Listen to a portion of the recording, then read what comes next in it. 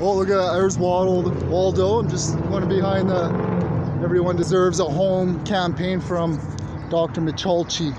Uh, hopefully my video storage doesn't run out. The time is approximately 105. Well, here it is, the wood shop.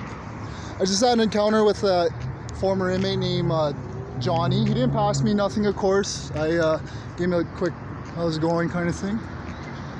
But here it is, Dr. Michalchi. And then there's the alien mural photo here.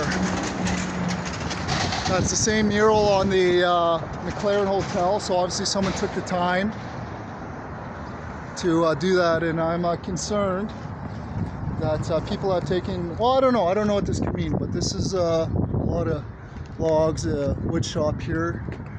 Um, I'm going to be alleging that this might be a part of some type of harassment, teasing, and whatnot.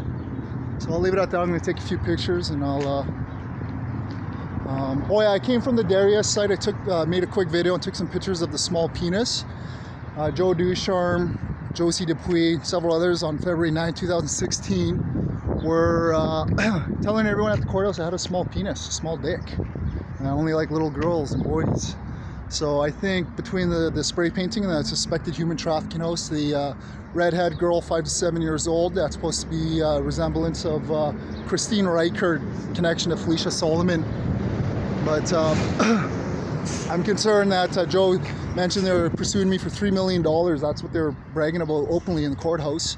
And uh, I'm concerned that this is what they're doing with their money right here, going around degrading people, making a mockery of our uh, of this of this province.